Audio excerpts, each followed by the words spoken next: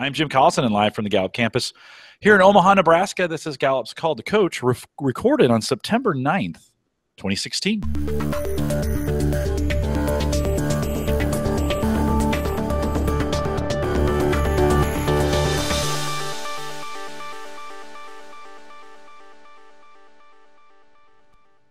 Called to Coach is a resource for those who want to help others discover and use their strengths. We have Gallup experts and independent strengths coaches share tactics, insights, and strategies to help coaches maximize the talent of individuals, teams, and organizations around the world. If you have uh, questions during the live webcast, we do have a live chat room that's available for you right below the main video window here. Just just go down there. You'll see a video window in the bottom left hand corner there's a button that says log in. Select that, choose the guest account, and put your name where it says guest. Take those numbers out of there. And then hit submit, and uh, that will put you in the chat room. We will take live questions during our program today. And uh, so you can get, get those in during the chat room. If you're listening to the recorded version or have questions about custom strengths coaching solutions for small, medium, or large organizations, contact us via email. Just send that to us, coaching at gallup.com. Really, that account uh, will, well, we can handle any of your questions there. You can also use the contact form that's right there on the live page. Don't forget to visit the Gallup Strength Center, just gallupstrengthcenter.com. For all your coaching resources and StrengthsFinder training needs, you can also catch the video on both streaming and downloadable audio for offline listening. And like I, I mentioned in the pre show, we have lots, uh, almost 200 videos that are available for you out there as well. All the links to our mobile apps, as well as the top five that you can get now. Actually, we just updated the iPhone and Android coming up here for the, our StrengthsFinder mobile apps, all available at the coach's blog. Just go to coaching.gallup.com. Jeremy Petrosini is our host today. He works as a senior learning and development consultant here at Gallup. I almost never get to see him anymore, and so Jeremy, it's always great to have you on Called to Coach. Welcome. Jim, great to great to be here. And again, those of you that are regular listeners, welcome back. Those of you who are new, we're glad you're you're part of this movement. Again, uh, we now have over gosh, 14.7 million people that have completed uh, Clifton Strengths, know at least their top five, are kind of on that journey to be the best version of themselves that they can be. And it's part part of Gallup's mission and goal to to hit a billion people. You know, there's seven billion on the planet, so uh, reaching a billion is part of our passion, and we know we can't do that um, on our own. It's not just about people taking an assessment, but it's about people again really unleashing their talents and strengths. So it's it's the network of coaches like yourselves out there that we really hope to have a million coaches to help us reach those billion people. So we're excited today to be uh, back together. And um, Maureen Monte is one of our, our guest coaches um, on the show today. She's been a, a past guest as well and um, recently launched just here in the last few months, uh, but had launched her first book uh, called Destination Unstoppable. And um, some great stories in that. We're going to get to hear from Maureen today, just kind of talking about how she's leveraged her own coaching um, business practice, really on the focus of teams. So those are both teams. Um, I like the way Maureen you say it on the website, both kind of from the locker room to the conference room. But whether it's actual sports teams and some great, phenomenal stories she has to share of of teams and coaches and individual um, uh, team members and kind of the success that they've had, kind of knowing their own strengths, but also kind of carrying that into the team setting in work environments. So, Maureen, we're excited to have you with us today. Oh, thank you, Jeremy. And Jim, thank you. You know how deeply honored I am to be here. I consider Gallup and, and you guys in particular my strategic partners, and I love you both. That's awesome. Thanks, Maureen. Yeah, Maureen, you and I, we were able to connect when you went through Gallup's entrepreneurial coaching training. So you've gone through all the strength certification, the entrepreneurial training, um, really kind of took that risk of moving from successful corporate career to going, all right, I'm stepping out of my own and, and launching uh, my own coaching business. But share with the listeners, I guess, just a little bit more about yourself and kind of your own journey of being called to coach. Oh, thank you. Well, yes. And on top of the uh, EP10 and StrengthsFinder certification, I've been to three, three Gallup Great Workplace Summits. Excellent. So at, when I was in the corporate world, that was the only way I could receive information on the Strength Finder, right at that point. And so, um, and I recently spoke at the uh, Clifton Strength Summit, right? And I opened, which I was deeply honored to do, and I opened with the statement that before I knew my strengths, my life was filled with drama and potholes, and I was always in trouble. And after I knew my strengths, my life was filled with drama, potholes, and I was always in trouble. but now I knew why, right? Yeah. And in yeah. fact, I realize now that I will create that kind of environment for myself, and I still do, frankly. Um, and my my I grew up on StrengthsFinder in teams. Um, I was exposed to it in my master's in leadership and business ethics in 2006 and instantly began using it with teams in my grad school program, which was almost all of it was team based work. And um, so while I do coach individuals from the very beginning, my my experience has been with teams. And the outcome of that has been my ability to build strong partnerships with team leaders and teams to help them be mm-hmm. successful. So i basically say i build winning teams.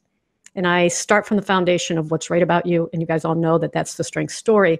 Um, my my value add isn't topic specific. So if i'm working with a medical executive team i last time i did surgery was never right? right? And I have no plans to do surgery, by the way.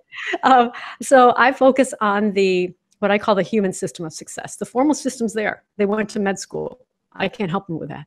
But mm-hmm. what do we need from the human system to help them, the group, be successful? And, and most often, and this is true with the sports team that I worked with, the hockey team, the problem was not was not it was not that they had issues with hockey or they had issues with medical school stuff or medical things. They have team chemistry issues. So I believe all teams struggle and that the best there's untapped talent on every team and the best mm-hmm. way to overcome that struggle is to discover the talent on the team align it with success and that's how people reach destination unstoppable it is not a place it is a mindset a heightened energy focused on belief in one another the fact that they they know they can win they know how good they are and um, just basically bring that human side to it that's awesome. Uh, Maureen, real quick to remind uh, the, the, listeners of your top five.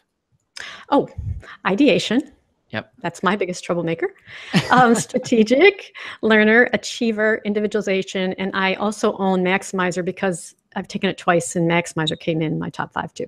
Yeah, I noticed that we could talk about that uh, throughout the conversation too. But I noticed in, in the book, you don't limit it just to top five. Um, you've got some charts that have six, which may throw people off to go, wait a minute. How did yeah. you get a 16? Hence, you know, disruptor was my number one EP10 thing. Ideation, so it's all connected to um, no boxes as far as I'm concerned.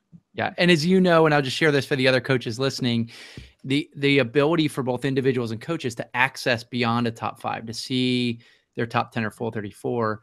I like the way that you begin to integrate that in because again, knowing your dominant themes, which again we say dominant is in a report for Strength Finder that says you own your top seven or you own your top 12, but it's for you to say, this is who I am, or maybe you've taken it multiple times and see that, that, you know, maximizer or woo show up and, yeah. and all right, how, which one of these, you know, play into who I am and, and what that looks like.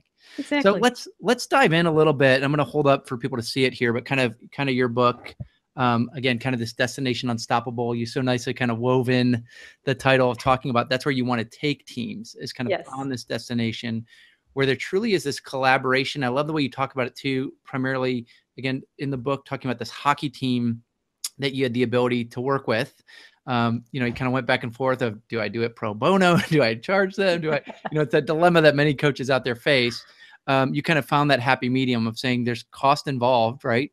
But what's the impact to them? And I love again the journey you took them on was that there was this sense of, and you just spoke to it, renewed energy, this uh, that it's it's not I need to beat myself up or be stressed out when I screw up, but this this idea again is kind of there, there's optimism and energy and collaboration, even in the midst of struggle. But talk a little bit, I guess, about some of the key components of this book that you really intended again for teams to be able to walk away, or for us as coaches as we read it, for us to be able to take two teams. Great. Well, those are that's an excellent um, foundation you've laid for this discussion. You know, for me, the Strength Finder is where all roads begin, but it's not where they end, right? Yeah. And so it's not just what you do with it as a company, but it's the the awareness in the team environment, especially. Most people take the Strength Finder and they go, "Well, I knew that about myself." Okay, did the guy sitting next to you or the woman sitting next to you know that about you? Does the do the other 25 members on your team know that about you? No they don't because none of us communicate as well as the strength finder can help us communicate when we have all the information. So the you know the, the hockey team um, when i got the opportunity my first question was per, for me in my head was is the coach the problem? Because if you have a the captain of the titanic who won't turn the ship Yep. That's a different problem than the the people under him yep. are, are the leader are not on board.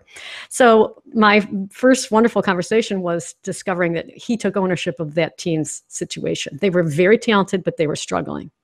And he said, if the I'm the maestro, if the maestro doesn't play the music, if the orchestra doesn't play, it's the maestro's fault. Mm. So I was already on board, right?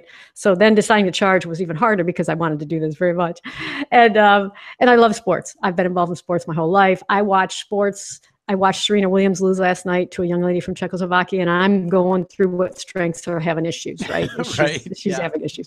So um, the but the the real value to the coach. Uh, two days later, I was in the boys' locker room at, at, a, at a local high school, right?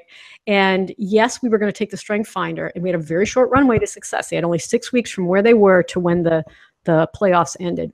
Mm-hmm. So we talked about what success looks like, and we invested in a team trust bank. And these are all the things that I bring to my coaching practice around the Strength Finder, right? Um, so I encourage other coaches to figure out what those things are for them as well. Yep. Um, I did grow up on strengths with teams, so I had and I had years of experience of doing this prior to to doing it with a hockey team but it was important for me to help them understand that they didn't have a hockey problem they had a people problem they had a team mm. chemistry problem mm. and what i appreciate about working with sports teams is sports teams leaders uh, understand the importance of team chemistry to success um, i'm in michigan michigan state university did very well last year in football and uh, if you were to google mark dantonio you would in January 1st or 2nd, I think it was the second, he spoke about why they win and he said it's team chemistry. He didn't say anything else. It's team chemistry. So if I could get what I try to do is get businesses to move towards the direction of focusing on the team chemistry side of teams. They they hire for, you know, someone who can write code in Java. That's great. But what else does that person bring to the table? What does that doctor bring to the table? What does that accountant bring to the table? So with the boys, we went, uh, we talked about what the issues were and what success looked like. And um, they defined their own success statement, which I have all teams do if they're willing to do it. Then they took the strength finder. And that's when I began to see why there are issues. When you have 18 out of 22 or 25 people with competition, you are going to have issues. and so I'd never seen a team wired like that with so much influencing strength overall and then just total competition. Right. Yeah. so even just helping them, all I had them do is stand up if you had empathy. Nobody had empathy. Stand up if you have belief. Nobody had belief. Stand up if you have achiever. And some people stood up and then I said, stand up if you have competition. And the whole room stands up. And they so you were guiding them, Ori, knowing they didn't have those themes. Yes, I did know they didn't have. I do a lot of analysis with teams. Right. Uh, I've got tool that does a lot, gives me a lot of data. We don't have that. We don't have. No. We've got lots of this. We yeah. got lots of this, and yeah. they then they were like, ding, you know, the light bulb goes on, yeah. and so the journey was really um, helping them see who they were, and then coach helping them find a role for each person on the team, on and off the ice. Yeah. Right. So that was, and six weeks later, they're state champs, which is besides the point. When I interviewed each boy after of the seven or eight that are in the book, not a single one talked about the win when I said what's most memorable. They all spoke about that joy of becoming that destination unstoppable team, that momentum. They were unbeatable. The last uh, 11 games after we worked together, they had 11 more games. They outscored the competition 67 to 16 goals. Wow. They crushed them. right? It was never in doubt as the the further along went. So anyhow, it was very joyful. Yeah. Well, and I love that piece too. And I like that you say almost kind of the win was secondary but when we talk about strengths, and again, you and I have you and I have collaborated on this, and Jim, you've heard this a million times from different different coaches that we bring on the show. It's it's this element again that it's not just a feel good. It's not just a, isn't this fun to know your strengths? It drives performance. Right. The beauty is when it when it's driving performance, the the win almost becomes secondary because what it does to you personally, or you or I, or the individual players, what it does to them personally in that on or off the ice piece. And I know for you with with this coach or other coaches or other leaders in business when we can shift from the focus being the win or getting the project done to developing the person it's it's it's a game changer day and night. And i want to i want to go back. I know you talked about for you you wanted to figure out pretty early on where's the coach coming from or is the coach the problem? Yeah. Um, i love that you know coach kind of said hey if i'm the maestro um, i've got a pretty important role. So he was willing to own that talk about that a little bit because I know with Gallup's millennial research, we've been talking a lot that millennials want the feedback. They want not the boss per se in business, they want the coach. And I think immediately, if you're like me, my initial reaction was, oh, they want the cheerleader and rah rah, and you're you're doing a good job. That's not what they're saying. When we actually dig into millennials, if any of us, you know, that played sports or watch sports, a coach is not a cheerleader A Mm. coach is not just all rah rah, but a coach is also different than the owner of the team that sits in the skybox, maybe making notes, and at the end of the season says, "Here's what you did right or wrong." I think too many of us in manager roles have become the owner of the team. We become the boss instead of the coach that's on the sidelines, giving feedback Mhm. in the moment, calling a timeout or halftime. Here's what we need to talk about. Talk about kind of that importance, I guess, of of that coaching role, both in sports or how how you've seen um, sports coaches approach it with kind of that developmental role versus maybe what's missing more in business or you've tried to inter- interject into business that could really transform the way we lead. Uh, those those are great points and a great question. Um, I'm work, I'm working with a customer right now uh, who's a previous Strength Finder taker, but we're going back now and actually making better use of it. Right? They have 40 managers, and I keep emphasizing to them that they don't need to be an expert. They're so afraid they have to be an expert on strengths. I'm like, you do not have to be an expert on strengths. Now you need to develop a general understanding of the language, Right. and, and that can come over time the the employee has to be the expert on themselves. Uh, They yeah. not their mom, not their boss. They need to know who they are. So help them through the dialogue about strengths and what success in the role looks like. It's a dialogue. It's the quality of the dialogue that matters, not Mm. that you must know every single strength out there because they're a little bit panicked, frankly. I don't Mhm. think they even understand their own strengths yet, Mhm. right? Mhm. So um, that's part of the journey is saying each of us own our own destiny. Our strengths can help us understand who we are and how to use that more successfully in a role. But the conversation is the critical part. Be willing to have the conversation. Don't be afraid of the conversation. If you've got learner and you don't have woo, use learner to explore that that person sitting across from you. And do Right. sports coaches seem to get that quicker? That the So here's my theory on sports coaches in general. destination. Yes. Okay. So what what what they do better than business leaders is they they are not willing to put a chihuahua in the leader dog for the blind school. Mhm. That's not It's not going to lead a dead Right. a blind person across the road. Okay. Don't do that to them, right? Yeah. What the sports people are better at saying are noticing what people are good at Yeah. and putting them in a role to be successful. What's your unique talent? And it's a yes or no, not a well. Let's let's try it out. yeah, and they don't take Usain Bolt and say, you know what, you'd be a better 100 meter dash person if you ran the marathon. Yeah. Right. They help them hone in on what they're great at. Right. So I think part of that is I think many of the really great coaches have individualization Mm. and they're willing to um, invest in them as individuals and see them as individuals. So, but I think the intent from the beginning is different Mhm. and it, it is to win but it is through they get it they understand that by deeply understanding and appreciating and valuing all the talent on the team and putting that to use is the way to get the best performing team and Yeah. it's won and lost in the locker room sometimes it's won and lost on the people side Yeah. right There's any number of outstanding stars whether it's business or or sports who fall apart because they don't have any of that human stuff working around them right Yeah. So translate that from the locker room then to the conference room, Mm-hmm. right? So you're saying like coaches tend to kind of get that. There's again, any of us that have played sports, there's a chemistry piece, a team piece. We see, and again, Gallup talks about people join companies, they leave managers. You know, the same thing. You think back to a, a team that won, you go, how much of it was about the coach, was about this chemistry that that Right. they helped foster or create Mhm. trans translate that that bend back to maybe an example you have with business leaders you've worked with we're in the conference room now they may go well this isn't a team this isn't supposed to be fun this is work it's called work what how do you help them to begin to think and act like a coach and create that that chemistry where they know my strengths and they let me play to my strengths So when I hear that kind of conversation, I know we need to work on that person first, yeah right?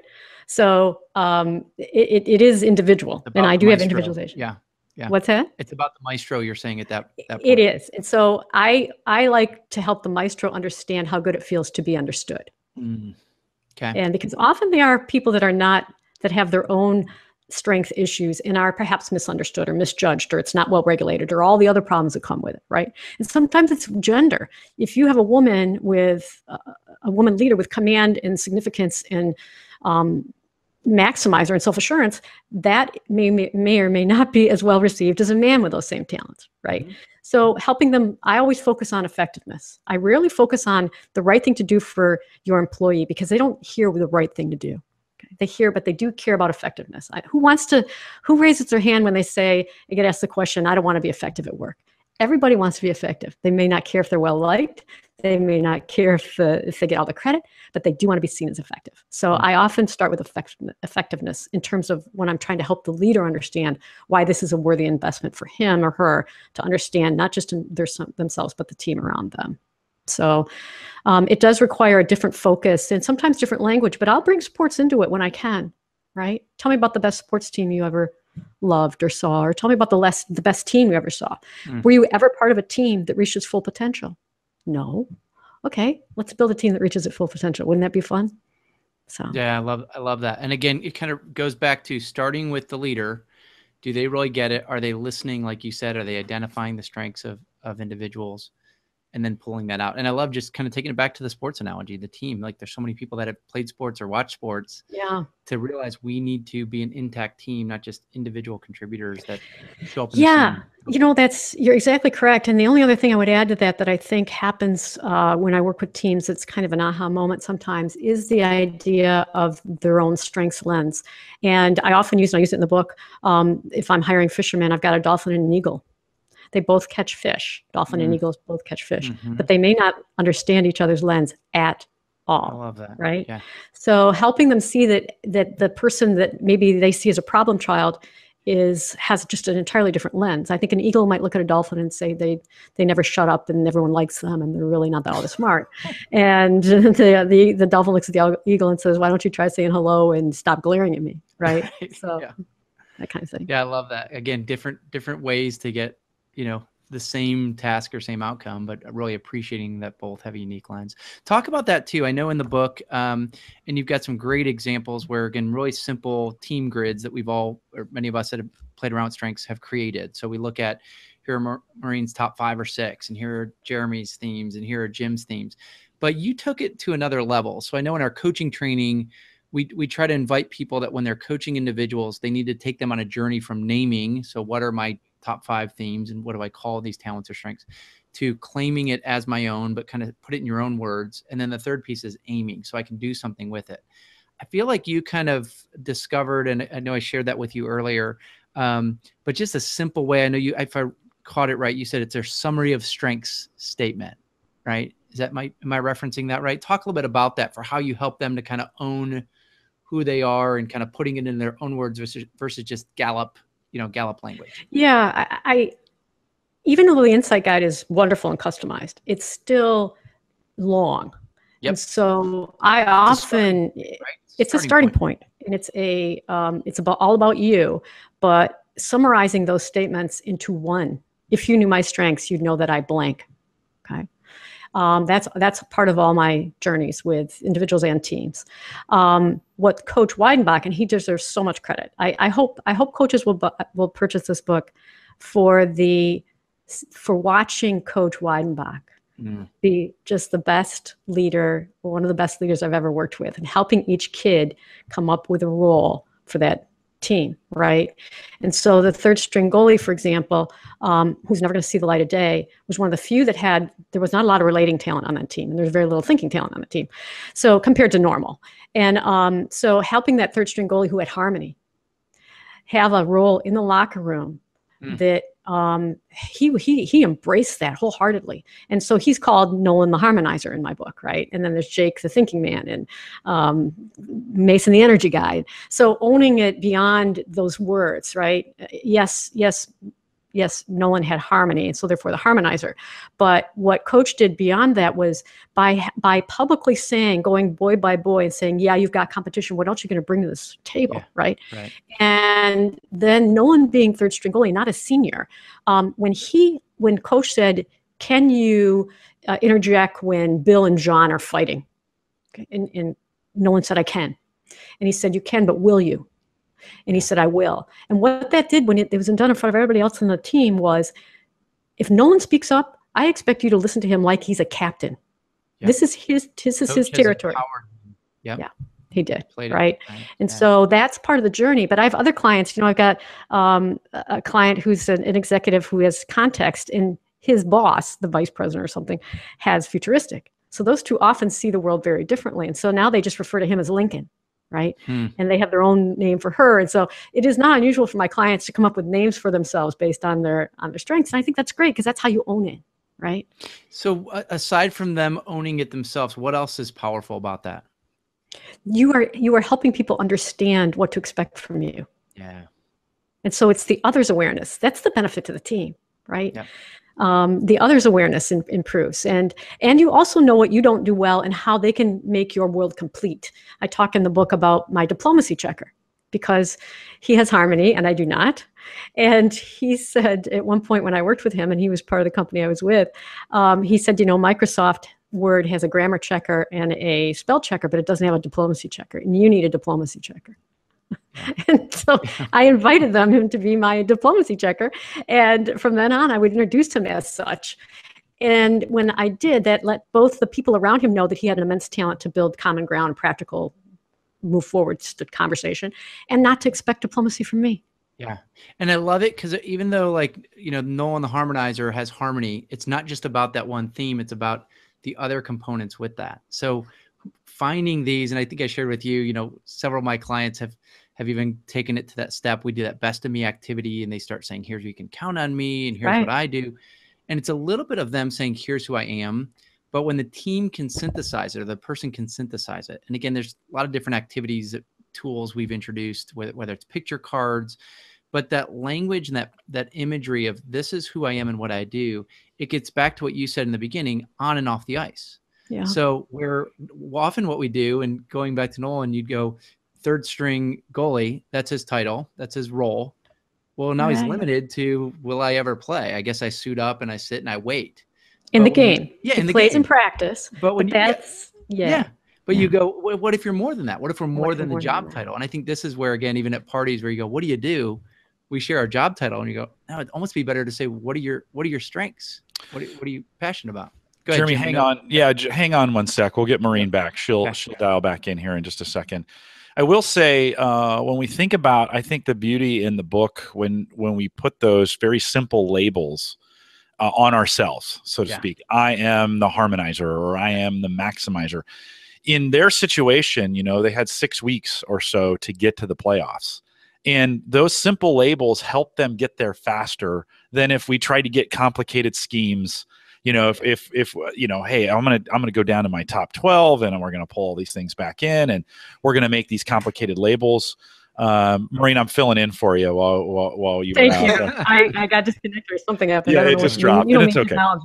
I, I, was just okay. I was just mentioning that I I felt like in the book when you gave these labels, these these descriptors, these very simple constructs on people to give them a, a, single purpose. And that doesn't mean that's the only thing they can do, but in a short time span, you needed results quickly. And so to go with one thing, I thought this was brilliance go with one thing that you can work on right now and make a difference mm-hmm. on was powerful because it gave like you said it gave the team permission to be those people and to yeah. do it fast you didn't have in, a, in an enterprise setting we might have a year or two to work on people and really dig in and i actually I, I i advise against even digging in too deep in those situations we almost need to get those quick labels on, on people and say how can i that's the low hanging fruit how can i make an mm-hmm. impact today yeah right. and that's, and you know and that's the that's the piece of where I was going to, Maureen, is what it did for Nolan in the moment is it wasn't just a in practice or if I'm needed, kind of if the if the kind of the situation arises where we got to pull in that that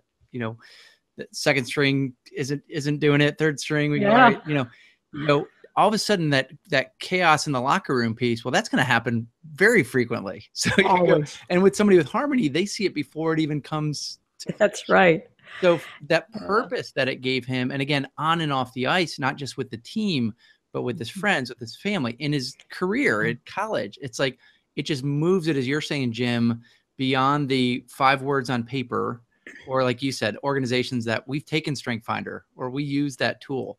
We move yeah. it from tool to this is part of who I am. Mm-hmm. And again, so much connecting that being to doing, as Curt Liesveld will always talk about that soul to role. Don't just make right. it about the job title but make it about who you are.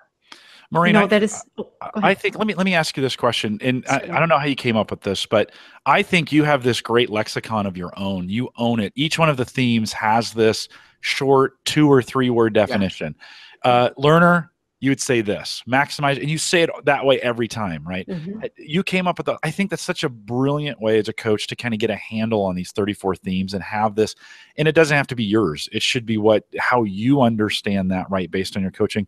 How how key and how strategic was that as these kids were learning that you could quickly come up with these two or three word phrases that described that theme of learner or that theme of maximizer Yeah, that's a great, great question. And frankly, it goes all the way back to when I was working with teams and very quickly had to get lots of people up to speed on what the the words meant, right? What the names of the themes meant. Mhm. And um, so I've had that same list for eight years, right? And so everybody gets the list, and uh, and then they look at the list because it's all on one page. And when if somebody says they have you know consistency and nobody knows what that means, they look at consistency, and we have at least a place to start, right? So that was important to me, uh, so that I could bring people up to speed quickly and have just a one-page short phrase that that it's it was mine, I, you know, and they're not all perfect, and I have changed them over time as I've improved my understanding too. Yeah. No, I, I think it's strategic in those conversations when you're having these when you you had got two opportunities to meet with the with these kids and not Yeah. a lot of time. And Mhm. so you had to have those quickly. Okay, this is that. This means this. Boom, you've got it in, and they're understanding Mm-hmm. very quickly. I found that I think uh, throughout the story beneficial to their understanding. They could claim it so much faster, knowing That's okay, right. this boils down to this, and we're going to put this. You know, we're going to go this way. And so, Yeah. you know, I That's applaud you. I think that's a great coaching strategy is to have each one of those themes and kind of your own. Hey, this is what this means, and uh, and I think that sped up the adoption a lot quicker. I think you're absolutely correct, and that that is the point of, of doing it that way, and also having one place in one easy place. Um, I do want to talk about Nolan for one more second. Um, so Nolan Rogo is now going to Michigan State for his first year. So he played on that team two years ago when I worked with him. I worked with the team again last year, and they went to the Final Four. They'd lost 14 seniors, and they almost won the state championship again. Hmm. And this time, this time, Nolan played. Right? He he was the uh, part of the platoon. Two goalies mostly played. And but I here's here's the cool the coolest thing of all is he, when he learned his strengths and began to see that his success he could count on them to drive Yep. success. He Yep. became the most uh, sought after guy to solve human problems on the team Yeah. and he go- he won the coaches award which is the best teammate Hmm. award and i'm telling you to get a coaches award from coach weinbach man i would that's better than the olympic gold i'm sorry all ryan Lock, lochte or whatever his name is set aside um, and uh, but he to this day when coach has a question about a kid who's still on the team he calls nolan Yeah. how cool is that? Yeah. You know? So then other boys have continued to leverage them. One kid worked at a, a golf store over the summer and he's like, I use my woo all the time, you know? So it just just fabulous. I love these kids. Yeah. Again, if at our at the core of coaching is helping people discover who they are, Right. and then to help them develop to become the best version of themselves they could be. It's again, it's not just about the win on the ice. It's it's so much more than that. And I love again for Nolan, for the team, for the coach to see, okay, who's who's the next kid on the team, and not we need to find the next harmonizer, yeah. but who's somebody that's going to probably even approach it different and unique because Right. who they are and the uniqueness they bring. Yeah, it's really fun. Coach is all in, Coach Weidenbach, and I am too. And as far as I'm concerned, we can do this for the rest of our lives every year. Hockey love it. season starts. I love it. Jim, are there question, questions out there? Other questions? I know you know Maureen well and have spent time with her and with the book as well. So I'd yeah, love hear yeah. Maureen, out. out in chat. You, you mentioned this a little bit earlier, but I want to bring it back up again in the trust bank. and Mm. how that this as i was reading the book this was an aha moment for me in realizing that uh, in w- our interactions in life have an enormous impact on what we do can you talk when you say trust bank can you talk a little bit about what that means and and how you explain that to the team with their interactions Yeah, um, I use the analogy, and this this is you know it's it's similar to your um, human sigma, right? And uh, between a client and an employee, it's either great, it either goes up or down, it's never neutral, right? So I use the idea of a waitress, right? If you're ready to order and the waitress comes over and she's not the least bit interested in what you really, and you ask questions, you get yes no answers, and you know the food's never delivered on time, and, and you wave wave them down. You know the experience part of it. So I said that's detracting from the trust bank. If that same person were to be all in on your experience as a diner at that restaurant, your trust bank goes up. And so I talked to them about from here on out, the rest of the season, there's a trust bank. And everything you do to one another and with one another either invests in the experience you're having together or it withdraws from it. And I came up with some examples of what an you know a investment would look and what a withdrawal would look like, and they continued along that path. And um, there were kids who said that one thing, and I said to Coach Weinbach, the team that enters that locker room the first time we meet, before we even did StrengthsFinders, will not be the same team that leaves. And they weren't the StrengthsFinder added to it but by we'd done the strengths we'd done the trust bank we'd done i believe in i believe in one i refuse to let you fail we had done the success statement we built that all in 45 minutes that's a lot of ground to cover with these kids yeah. right and that's but that's what's possible and um, so all of that was part of them holding one another accountable for the rest of the season to remain engaged and invested in one another yeah, and our version of that, which is so beautiful, is the dipper in the bucket. we, we every interaction we're either we're putting drops or we're dipping from it, right? right? Uh, from that standpoint, it just it came very clear to me that every, especially uh, in this scenario, that every interaction matters, and that we're either adding to or taking away. And that was such a clear and simple, and I think for teenagers and maybe even us adults too, uh, such a clear example of like in this interaction, am I adding value to it or am I stripping it away? in yeah. what we're doing here. And that in, in, in a team setting, uh, that's just so important that, you know, in, in, that we do that. And I think if that's another one of those easy things as a team, if we're struggling, is to check those things that we say to each other. And it's mm-hmm. an easy mm-hmm. check to say, is this adding value or is it taking away from it? Mm-hmm and uh, and that alone can the the positive conversations that begin in a team you i think in the book outline some of the afterwards some of the dialogue that took place where you got feedback on that right mm-hmm. you saw those kids begin to encourage each other right in that yeah. in that setting can mm-hmm. you talk a little bit about that yeah you know it was um, some of it was in the moment as they learned even the buzz in the room after our first session 45 minutes you could feel that there was a different energy than when I than when I came in. And then when we did the strengths, and they um, were able to uh, converse with one another about their different strengths, review the insight guide. Um, I had each of them build like a secret sauce statement. What is what are the three things you do better than anybody else, and what strengths? Mm-hmm. Which is a lot of ground to cover again in a two-hour workshop, right? So, but the from that moment on, um, the two co-captains said to me that when people began to have their roles, each role that was accepted was 100 pounds lifted off their shoulders. And by the time they, that it came around to them, they were just so relieved not to have to fix all the problems on the team, right? And, you know, Coach Weinbach said he didn't have on that team, he didn't have a, a Braveheart or a General Patton. And, and he felt that's what he needed. And what I, my favorite point about one of the conclusions of the book was we didn't need General Patton. We didn't need Braveheart.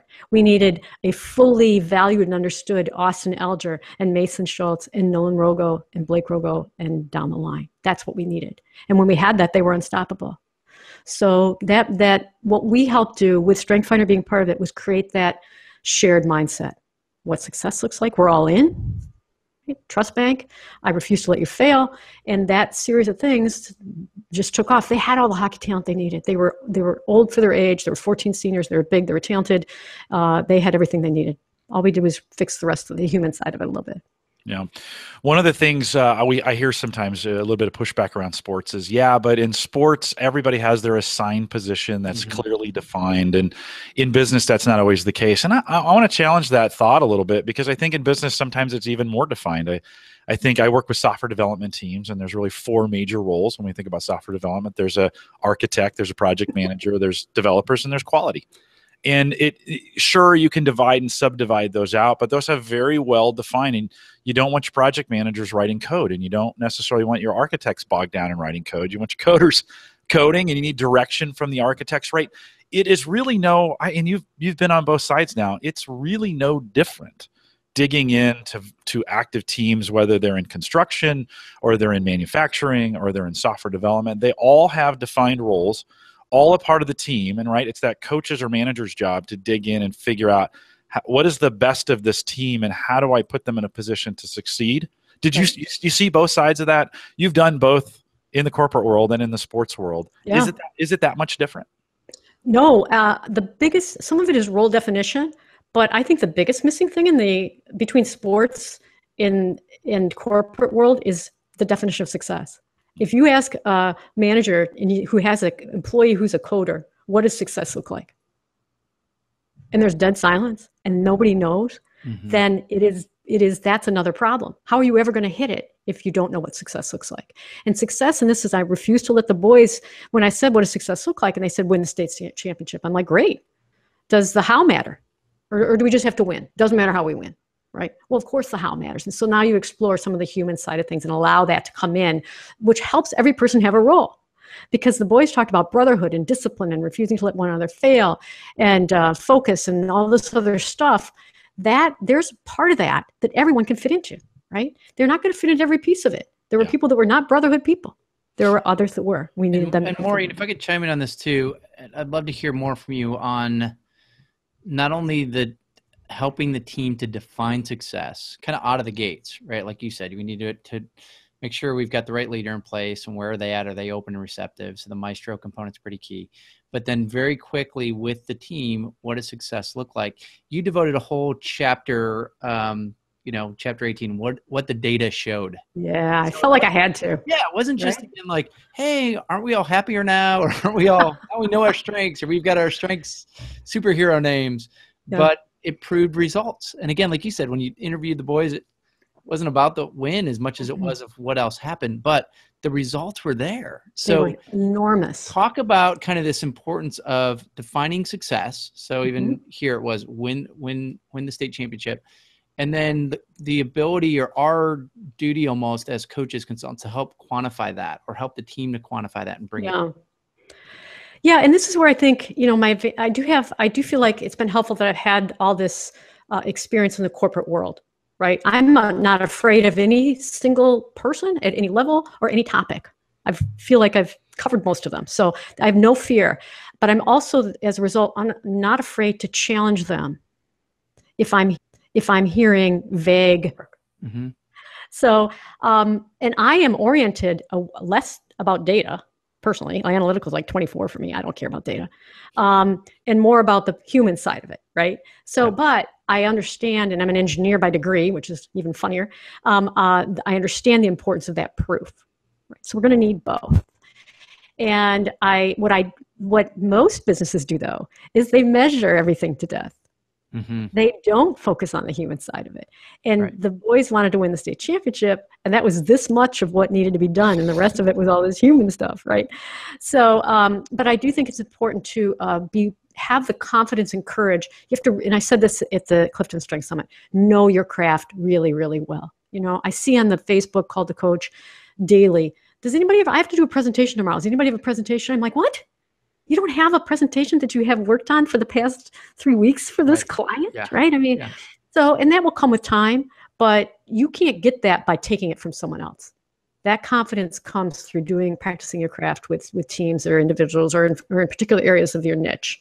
And I encourage that uh, uh, tremendously. I think there's too much of this thin understanding in our, or, uh, that, that then hurts coaches and their ability to have impact. And I feel like I have had that opportunity to develop deep understanding of business and i'm not afraid to ask questions and probe does that help Yeah, that's great. No, I think it's it's excellent. Uh, one one of the things uh, also when we think about understanding values, right? And so the value for that team when when we think about the sports team, the value was to win the the championship. That's what they want to do collectively together. I think in business, uh, we have those similar type of events to release this piece. Uh, I'll use software again as a team, we're going to release this piece of software. I just spoke at the University of Maryland to a class, and their primary objective was to complete this assignment as a group successfully by this date. And so we started with this goal and value in it. And then each of those team members brought what is the value you are bringing to this? You know, what, what's your value proposition to this team? And I stole, I told you, I stole that. I will not let, I will not let my team fail uh, in this endeavor was one of the the statements we made. I think that's super important that in the team everyone buys into that mm-hmm. concept. Did you did you find the you, they said that in the first you know you asked them to do that, but how did you see that manifest itself throughout you know from the time you left that second intervention yeah. to to the national championship. Well you know i as you know i went from there to vegas which is another story but um, for my work and and i when i came back they had already had a couple games under the belt and had done extremely well. So i just began to look for behaviors that look crappy right? People yelling at one another arguing on the bench. I saw none of that. And then they were crushing out the competition. I'm like well this team doesn't have a problem right? I don't know why they needed me because I see no problems whatsoever. But in reality, of course, all that had been smoothed over. And that, but I, I want to talk about that. I refuse to let you fail exercise. I um, rarely use it in the corporate world because really they don't mean it. And I love to work with companies who, that do mean it. Uh, it is rare that you get two employees in a corporate environment who really mean, I refuse to let you fail. And are that comes from the joint energy associated with commitment to what success looks like. And if mm. you don't have that, it, you can talk to your head falls off. And you can say that the energy in the room when they were yelling at one another i refuse to let you fail across first the people across then kitty corner it was enormous. And i knew they meant it. And they meant it because they wanted to win. They the coach wanted them to become great men. He sees his, the winning to him is besides the point uh, for him, the his mission is to develop great men. He's always like, why be regular Navy when you can be a Navy SEAL? He wants Navy SEALs to come out of his hockey program. So this was all part of what he buys into as well. I didn't know it at the time. That came through interviews later with coach. But um, I, I think I think one thing about sports is that I will say, and it comes from them having more influencing strength. There's more energy in the room to begin with, right? Mm-hmm. Um, having software people yell at one another, yell at, "I refuse to let you fail." I think might be a little bit more difficult. I work with a medical team that was 47% thinking strengths and only 4% influencing. It's I have to attack that differently or it's never going to work, right? But for the most part, that kind of energy and commitment is something I see more in the sports world than I do in the corporate world. But I bring it in if they're willing to do it, and I sense they are. I'll have them do it. I had a team though that I worked with recently, and the best we could get out of it was, I will say hello to someone else in the hallway.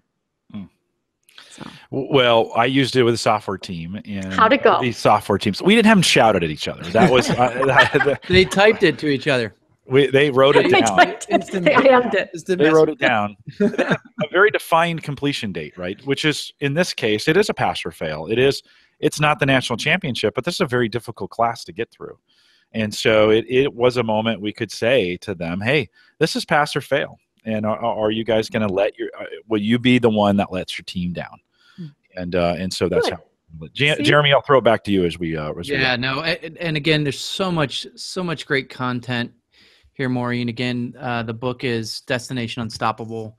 Um, where can people find that, Maureen? So you can get it on Amazon. You can get it from my distributor at lulu.com. But if you go to my website, there's always a coupon. I get them weekly for a discount.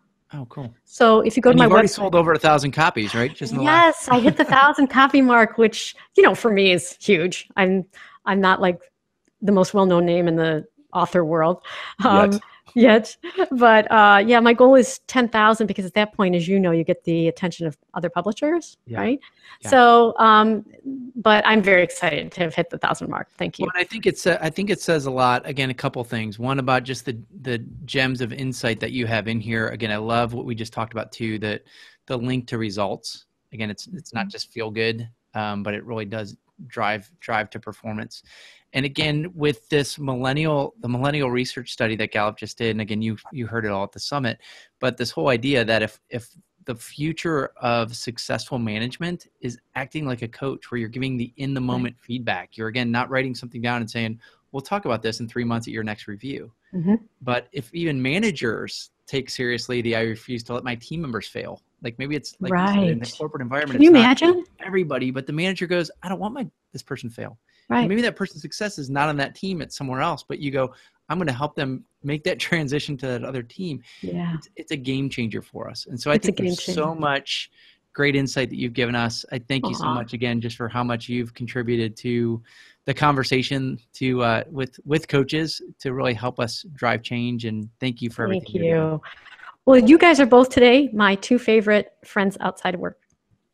Excellent. Best, best friend, that builds best friend outside of work. Yeah. builds engagement. builds engagement. That's, that's I refuse to let you fail. I refuse to let you fail. Yeah, exactly. That's that's right, Marina. I'll say just as uh, you know from from uh, my reading of the book that I think this is uh, one of those uh, additional textbooks for coaches who really need those practical. You know, you mentioned the, the the questions we get on Facebook all the time about you know how do I, I'm going into this situation, how do I do it, or activities and such. The, the book is loaded with with um, I think some really well out and well laid out and thought through concepts and ideas on how to do this. And so I'd encourage coaches from that standpoint. This is one of those textbooks to have on your shelf, read it, make some notes, make it your own, right? Make your own statements, make your own coaching proposition, all those things that you do, don't copy, make it your own. I think it's really, really powerful. Maureen, you can steal, of course, but um, I think it's really powerful when you make that your thing, right? As a coach, wouldn't you say that's one of those? Oh,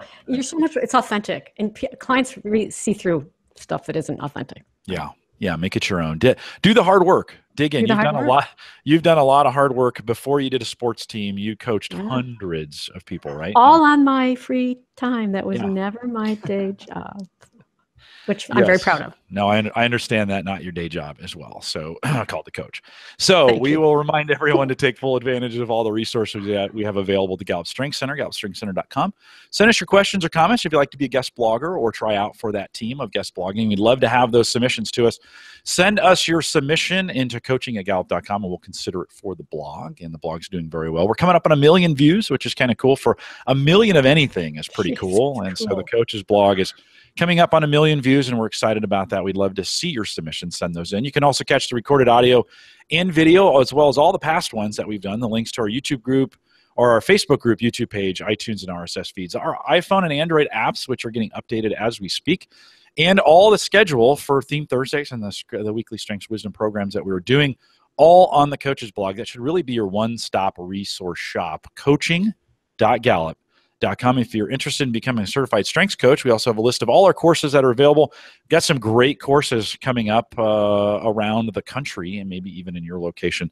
A complete list of them is in our courses page, courses.gallup.com. And as you listen to this, we may actually have a link out to the, the registration for our 2017 Clifton Strength Summit. Ooh. So that is coming up as well. I don't have an exact date, it'll be sometime here in September. And so you might want to pay attention to all the things that are going on way earlier than last year, and that team is on fire and ready to go. You might want to start planning that July 17th, 18th, and 19th here in Omaha, Nebraska for the 2017 Clifton Strength Summit coming up. You might want to be, just pay attention to what's going on. If you found this helpful, we'll ask that you share it. And with that, uh, we'll say goodbye, everybody.